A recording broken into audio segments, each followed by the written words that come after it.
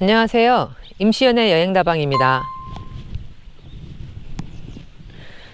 자, 오늘은 제가 이 가막산 산행을 하기 위해서 나왔습니다. 이 가막산 임꺽정봉에 이 하늘길이라고 데크길이 있는데 거기가 멋있다고 그래서 저도 처음 나왔습니다. 이 가막산 들머리는 여러 곳이 있습니다. 그런데 제가 시작하는 곳은 양주 쪽에 있는 이 수월사 부근에서 시작을 합니다. 아, 그렇지 않으면 저기 아래 1.8km가 떨어진 곳에 주차장이 있는데 거기에서 걸어오려면은 시간이 좀 소요가 돼서 저는 지금 수월사 부근에 주차 공간이 조금 있는데 거기다 차를 세우고 지금 바로 뒤로 보이는 이곳을 통해서 이제 이 가막산을 산행을 하겠습니다. 저는 한 6.8km 정도 예상을 하고 다녀올 예정이고요. 저도 이곳이 처음이라 아, 이 산이 어떨지 자료로 보기는 했지만 아, 좀 궁금하기도 하네요. 자, 여기는 이제 경기 오악 중에 한 곳이라고 하죠. 악자가 들어가는 만큼 산이 험하기도 하지만 또 그만큼 멋진 곳이기도 합니다. 자, 그럼 이번 산행도 또 저와 함께 잘 즐겨주시기 바랍니다. 출발합니다.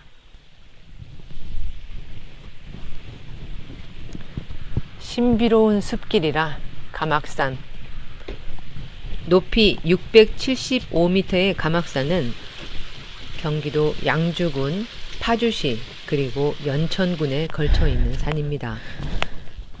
자, 아까 그 입구에서 여기는 이제 흙으로 된 산길을 조금 오르막을 올라왔고요. 이제 선일제까지 1.2km 지점에서 약간 너덜지대 이렇게 바위가 있는 길이 나왔습니다. 바위 위에 요즘에는 낙엽들이 있을 수 있으니까 조심해서 가려 밟고 가세요. 여러 곳에 등산로가 있지만 양주에서 올라가는 가막산은 시남 저수지 아래에 있는 가막산 주차장에서 시작됩니다. 그러나 초반 1.8km는 아스팔트 길이고 수월사 부근부터 계곡 옆에 있는 산길을 따라 걷습니다. 자, 선일제로 가는 동안에는 약간씩 올라갔다 내려갔다는 길이 있었지만 그래도 걷기에는 어렵지 않고요. 워밍업을 하기에는 아주 좋은 것 같아요. 지금 그리고 이렇게 낙엽이 수북하게 쌓인 걸 보니까 이제 겨울이 정말 멀지 않은 것 같습니다. 이 등산로를 따라서 약 1.5km를 걸어가면 선일제에 도착하는데요. 이곳까지는 완만한 오르막이고 그리 힘들지는 않습니다.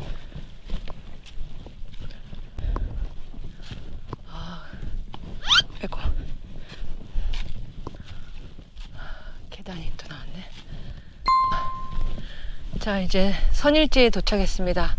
여기는 그 신선이 머무는 고개라고 합니다. 그래서 이름이 선일제라고 하는데 제가 시작한 지 45분 정도 되니까 선일제에 올라왔어요. 여기서 저 좀 쉬고 아, 좀 가다듬고 이제부터는 아마 좀 본격적으로 등산이 시작이 될 것 같습니다.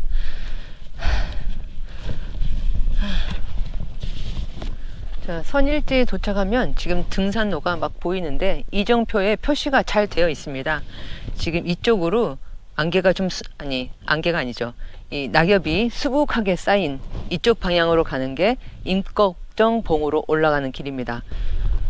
선일제에서 산길을 따라서 약 900m 정도를 가면 나무 데크길이 시작되는 제4 전망대가 나옵니다. 여기까지는 조금 거칠고 가파른 구간도 있습니다. 그러나 크게 힘들지는 않습니다. 아, 이제 이 바위산이라고 약간 지금 이제 맛보기로 좀 나온 것 같습니다. 우와. 아, 힘들만 하면 내려가고 또 힘들만 하면 내려가고 그러더니 이제 이 암벽 데크 전망대 0.4km 남겨놓은 지점인데요. 여기 그래도 쉴 수 있는 자리들을 아, 곳곳에 잘 해뒀네요. 자, 요 밑에 공룡 바위가 있다고 하니까 잠깐만 보고 가겠습니다. 자, 공룡 바위는 숨은 그림 찾기입니다. 저는 봐서는 잘 모르겠는데 공룡 바위라고 써 있네요. 자, 어쨌든 해도 나오고 이제 데크가 시작이 됐습니다. 오. 후.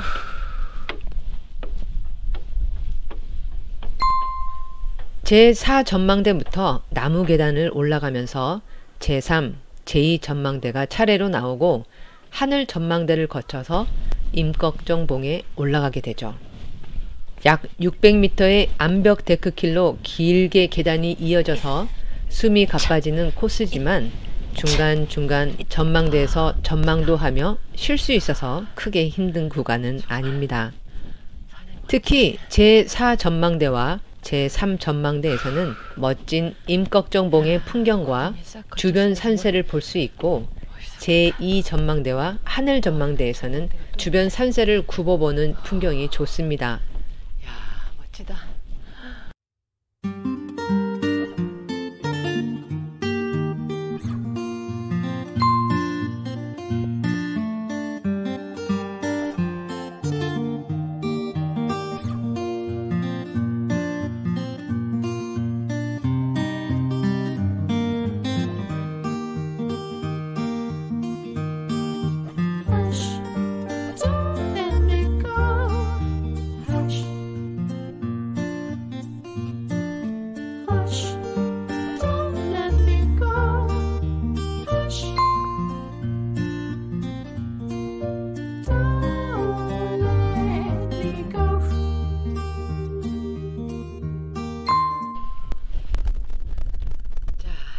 1전망대에 왔습니다.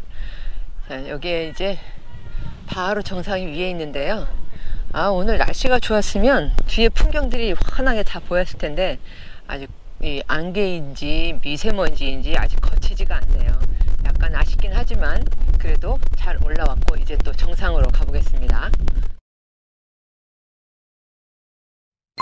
임꺽정봉은 가막산 정상 아래에서 약 400m 정도 떨어진 거대한 바위 봉우리인데요. 오히려 이곳이 정상보다 조금 더 높습니다. 임꺽정봉을 보고 내려와서 가막산 정상이 400m만 더 가시면 됩니다.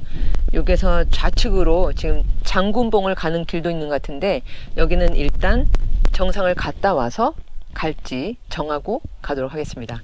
먼저 정상으로 가시죠. 임꺽정봉에서 정상까지는 약 400m로 조금 내려갔다가 다시 올라갑니다. 정상에는 꽤 큰 규모의 큰 건물이 있습니다.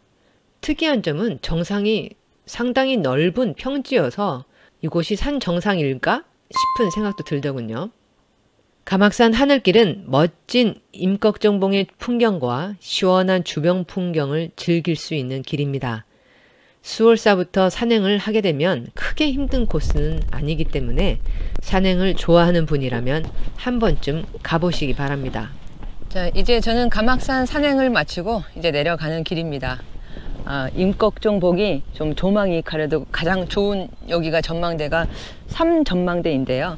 아, 여기서 보는 모습이 지금 멋지죠? 예, 아까보다는 그래도 이 날씨가 좀 화창해져서 지금 좀 볼만하네요. 자, 여기가 675m의 그 높이였는데, 어, 뭐, 악자가 뭐 들어가서 굉장히 악소리 나게 힘들다. 그렇게 말들 하는데요. 그래도 여기 데크 길을, 데크 길을 굉장히 잘 해놨어요. 설치를 굉장히 잘해서 그래도 저도 올만한 산이었습니다. 여러분들도 다음에 시간이 되시면 한번 와 보시기 바랍니다. 그런데 다만 문제가 있어요.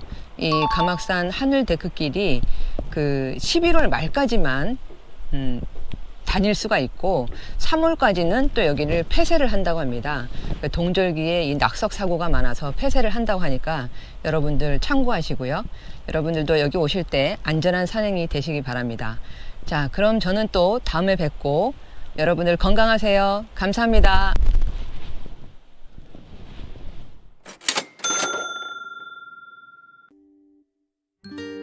파주의 가막산 출렁다리는 가막산 등산로 초입에 설치된 길이 약 150m의 출렁다리입니다.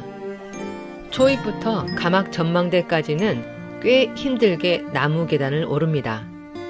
그리고 이 출렁다리를 건너서 운계폭포까지 볼 수 있는데요. 운계폭포까지 다녀오면 왕복 약 1시간 정도 걸립니다.